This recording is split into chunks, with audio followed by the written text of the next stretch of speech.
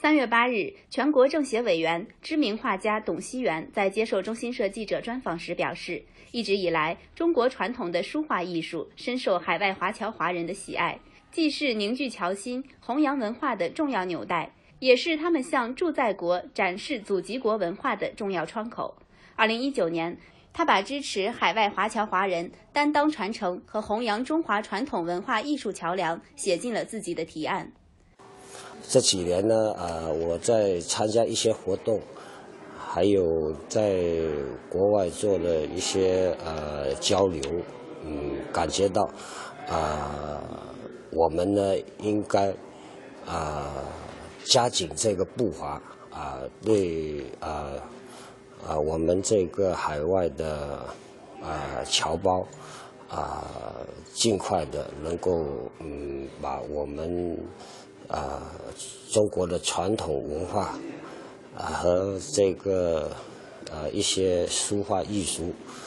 啊，或者是舞蹈啊，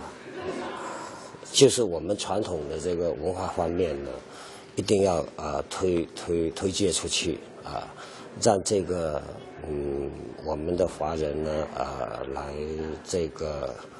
啊承担起这个推推广。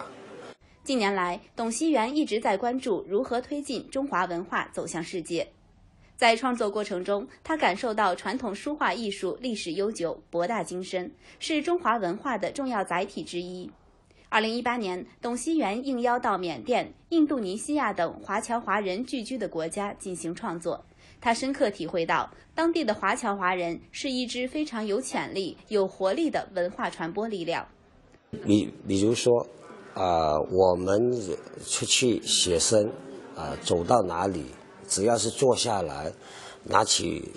毛笔，啊，包括我去美国，好，那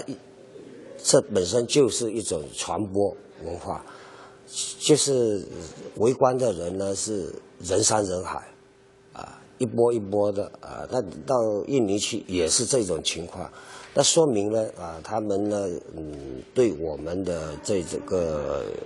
艺术，啊，他们是很喜欢、很感兴趣的，啊，因为他们平时所接触到的都是属于油画，啊，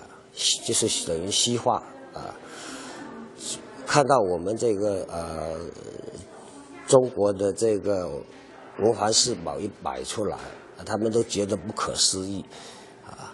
那么这个就是我们一个很好的传播的这个途径，啊，比如我们去特别认真的到缅甸，我们当地的当地的美术界的主席、副主席，啊，带了一大帮人来，啊，就来跟我们做艺术的交流跟互动。通过走访交流，董希元体会到，传统文化走向世界，离不开分布在世界各地华侨华人的参与和传播。他认为，广大侨胞生生不息的家国情怀和守住中华文化根基的强烈意识，将进一步弘扬中华美学精神，促进中外文化交流。要通过啊，我们这个华侨作为一个啊纽带啊。通过这个纽纽纽带，通过这个平台啊，让华侨